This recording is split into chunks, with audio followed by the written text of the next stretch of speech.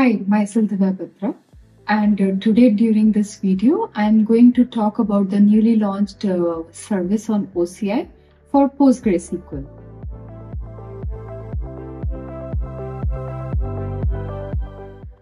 In this video, I'm going to talk mainly about how you can get started on uh, PostgreSQL on OCI and also what are the different options available to migrate to PostgreSQL on OCI. Let's get started. OCI database with PostgreSQL is a fully managed service that saves your time on routine tasks such as patching and backups. And our special feature is database optimized storage architecture, which decouples a SQL transaction processing engine from storage layer and it boosts the system resilience and performance. And uh, it is designed to be 60% less expensive than Amazon Aurora and it offers around three times more performance than an open source PostgreSQL deployment. In addition to that, it's fully compatible with the open source PostgreSQL. So anytime you want to migrate to OCI PostgreSQL, it's uh, quite simple. And we are also going to see in the video. In order to access PostgreSQL on OCI, go to the hamburger menu. From there, go to databases and there you see PostgreSQL. So before getting started, you have to add some policies uh, to enable PostgreSQL on your uh, tenancy. I have already added them and I have created a PostgreSQL database for you. Uh, currently, it only supports PostgreSQL uh, version 14 and the performance tier supported is 300k IOPS. For now, I have created a single node cluster but you can add uh, more nodes.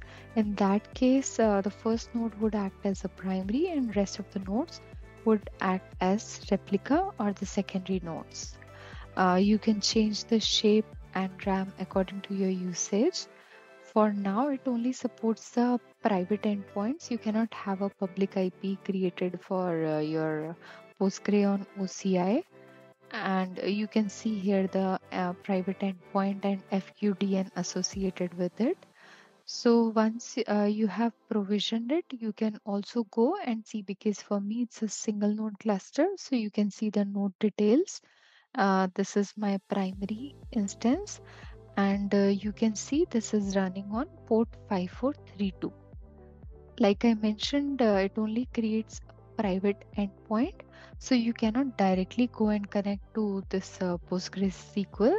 So if you have to connect from your local pgadmin client, what you have to do, you have to create a Bastion session for port 5432 for this endpoint and connect from your local uh, pgadmin client. Or other option is uh, like I have done, you can have a compute running and there I have installed a Postgre client and from there I'm going to connect and show you. In order to connect to the Postgre uh, SQL database on OCI, we are going to use this compute instance where we have already set up the Postgre SQL client in order to connect to the uh, PostgreSQL private endpoint. So uh, this is the endpoint for the PostgreSQL database that we had provisioned and we are going to connect to the admin user and we are connecting to the Postgres database. So once you are connected, you can see it's uh, version 14 and uh, as of now, these are some standard databases which uh, came after we had uh, provisioned the new Postgres uh, on OCI. Uh, because I'm also going to cover the migration. So I'll just create a database where uh, we'll migrate from on-premise uh, Postgres database to this one on uh, OCI. So I'm going just going to name DVD rental underscore OCI and here this one will use as a target for the migration. Let's go to the migration steps. So for this demo, what uh, I'm going to show is our source is uh, Postgre on-premise and from there we are going to migrate to Postgre on OCI. So uh, for this use case, we are going to use a pgdump utility in order to take the uh, dump from Postgre. So in case your target is going to be uh, Oracle, ADW, or DBCS or uh, Oracle database, you can even use Oracle Golden Gate to do the initial load. So let's get started.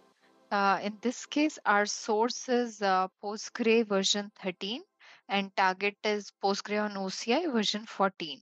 So I have already connected to this database and uh, this uh, DVD rental database has got some data. Let me connect and quickly validate. So if you see there are some tables already created in this DVD rental database. So we are going to take export of uh, this specific database and test how the migration works. Let me uh, exit from here and uh, in order to do the export uh, you can use this pgdump utility in case you want just the schema you can use minus s option and in case uh, your schema is already created on target so you can use minus d option just to take the dump of data so in this case i'm going to take both schema as well as data so this will uh, generate my dump file on this location. So now we can move it on our target and get started uh, with the import activity. We have already moved the uh, data dump from the on-premise source to the target server. But actually before starting the import process, uh, we have to give the grants to the database DVD uh, rental underscore OCI that we had just created for the appropriate roles. So once the grant, grant is given, now we are good to start with the uh, import process. So now we can actually load the data from the import dump file that we had just uh, copied here. Uh, if you see here, now we are going to load the data into this uh, DVD rental underscore OCI and we are still connecting with the admin user and this is the IP of my Postgre OCI. Because it's a small database, it would be quite quick. You can actually validate like uh, uh, the data is and all the triggers and uh, indexes are also created. So you can actually go and validate the information so uh, this concludes our uh, migration process from on-premise to OCI PostgreSQL. In case you have any more doubts, you can refer to Oracle documentation. Thank you for watching the video.